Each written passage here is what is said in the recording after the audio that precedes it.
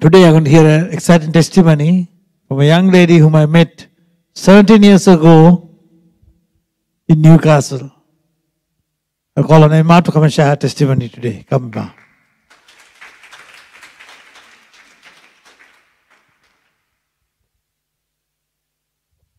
Thank you, Pastor Jenny, and thank you so much for welcoming me into this beautiful church.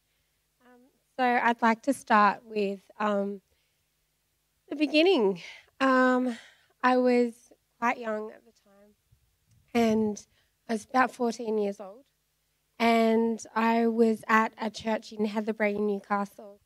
And at the time, I had been dabbling in witchcraft um, and just worldly activity, um, just being a rebellious teenager.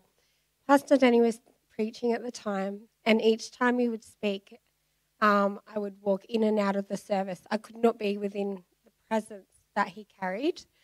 Um, so he stopped in the middle of the service and he said, No, I'm delivering this girl right now. And at, the, at that time, um, I was wearing a bracelet and there was witchcraft upon it. And he asked me to remove the bracelet, and there was a massive deliverance within that. Um, yeah. So, which was fantastic. However, I then got back into things, and as we know, um, the, the demons can come back seven times worse in those moments. So um, one night, Pastor Denny was he was clearing out his desk. And it so happened that the Lord said to him prominently, Call this number. And so he was obedient and he called the number. Now, when my parents came into the bedroom, I was in that moment slitting my wrist um, and about to take my life. I was so certain and I believed with all my heart that I wasn't meant to live any longer. Uh, it wasn't even a matter of just wanting to escape. It was, I was absolutely certain. And just in that moment, he said, put her on the phone. So I took the call and he said, You will live and not die. And he said, You will see your 16th birthday. And he said, You will see marriage and children. And he spoke life into me. And so um, it's funny because last night, uh, God brought me to the um, Ezekiel about the dry bones becoming as flesh. And it was speaking, you know, it was through prophecy that the dry bones became flesh again. And that's exactly what I believe that Pastor Danny done within me. He then said, I, would, I want you to come to Melbourne and you're going to change it. It's going to change your life. Um, I want you to come and live here. Um, in that time, I had I met the Lord had a relationship with the Father.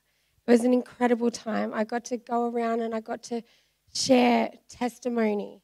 After, after a while of growth, I was able to go around and share testimony with Pastor Denny and just um, everything that he did for me through the Lord as well, and the provision of Jehovah Jireh, um, what what came into my life during those times was just incredible. So anyway, um, I'd like to say I'm still alive. and in that time, pardon? Yes, I have two children. I have two beautiful children, and um, I am truly blessed. I'm truly blessed. But what I would also like to say is um, a week ago, when I found out um, that I was coming to Melbourne, which was provided for me, the Lord provided the money for the ticket. Um, he did it all, and, and it was just absolutely amazing. And so the words came to me you have to go back to go forward. And spiritually and naturally um, is what he was speaking about in that moment. So he's speaking back, going back to the first love, coming back to him, coming back to the Father. And then he showed me, he said, I'm bringing you back to the natural where you've met me, where you met me here in Melbourne.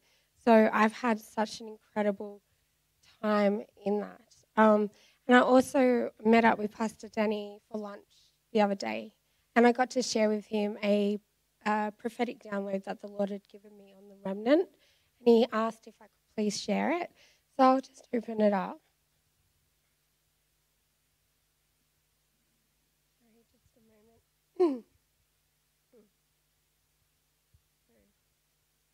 I see a flock of sheep, although few in number, with thick quality coats of wool. Healthy sheep. I see them standing in holy water, and they receive the outpouring of oil upon their heads. As they receive, they are grateful and enjoy the process. Once the oil is poured, they continue to walk to higher ground. As they follow toward the sheep, uh, shepherd, although they cannot see him, they hear him. They know his voice. I see the sheep coupled in twos, even families, receiving the outpouring. Um, soon after, the little lambs who are hopping and jumping, playing in the Lord, excited but still young and a little careless. I see a hand pick them up as they, as they slowly um, straying from the bigger sheep as they were heading toward the wolves' den. I see a few rams come through with very large horns and strong chests. They are not to be challenged or taken for granted. They know their place, their authority, and their strength. And upon their forehead to the bridge of the nose, a mark of the blood, the blood of the Lamb. I see mantles on their horns and purple and gold sashes over the shoulders.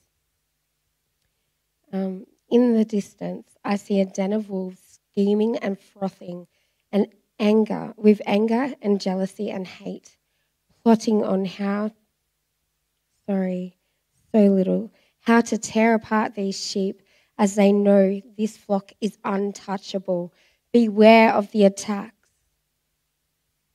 Um, beware of the attacks that are being formed and calculated. Beware, says the Lord. Focus on the shepherd's voice and continue to higher ground. As you do so, I will eliminate and terminate the enemy. If during the time the sheep are to take their attention off the shepherd, they will slip and fall down the mountain way where the wolves are waiting and ready with anticipation and, and hunger to devour the sheep. I see the sheep on their journey to higher ground up the mountain, eating plentiful with food source provided every part of the way, along with clean water supplied, even at some points in a trough, other times from springs of water. I see the wolves come in on attack mode from different angles, but God using the natural elements and ways of life to kill or scare the wolves away. I see through the discern, um, I see they only get one attempt. Each wolf, as they are overthrown and dealt with, the sheep are aware through the discernment, but also unconcerned as they know they are protected by the Lord. I see the sheep throughout the journey kneeling and bowing their heads. This is the intimate time in the secret place with the Lord. I see them walk within a safe dif- distance, um, spending moments of rest in God. As they do so, a fire is lit immediately as they come. And I got the scripture, 1 Corinthians 2 9. But as it is written, what no eye has seen, nor ear heard, nor the heart of man imagined, what God has prepared for those who love him. I see the rams at times fend off the wolves, but leaving unharmed and even more strength and knowing on how to fight off the upcoming and oncoming attacks. They then return to the sheep and explain how to pray and impart authority and wisdom into the rest of the flock. Although it may look like a sheep, um, sorry, although it may look like a steep pathway and a narrow pathway up the mountain, it will be done with ease for the most part. In the parts where it becomes tiring, I will send help. I will have another there to help encourage you up. Though um, and push forward together. At times, the track's so narrow, it only will be single file. These will be times this coming year I will ask you to walk alone in some things and trust in me. For I know you as I created and formed you. Do not fear these moments, instead, embrace them as I am teaching you to walk in a deeper faith with me. I see the sheep carrying an olive branch in their mouths, representing peace. Do not fear, for I am with you. I will provide shelter from the storm, says the Lord.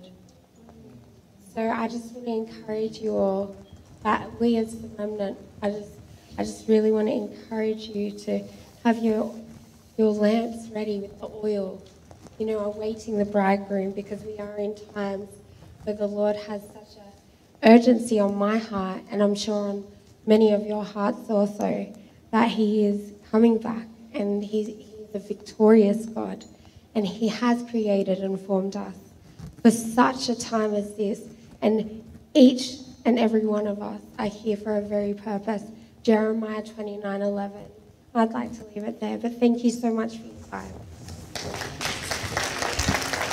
Thank you.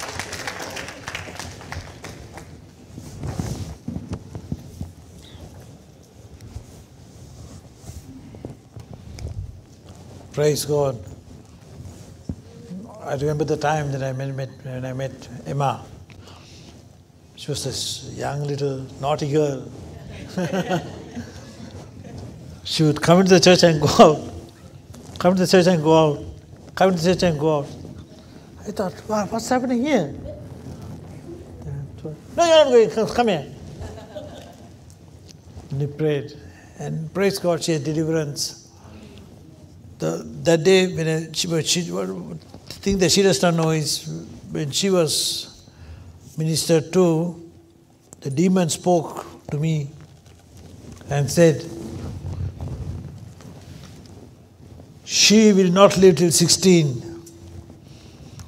We have chosen for her to come to us. I love it when the devil, the devil just tell me. I said, You got it wrong, Satan. She will live to 16, she'll live to 18, she'll live to 21, she will get married, she'll have children. I mean, yeah. So praise God. I had the opportunity of um, being at the wedding, a mass wedding, and uh, being the main person who carried the wedding. Uh, what do you call it? The the celebrant. I married them.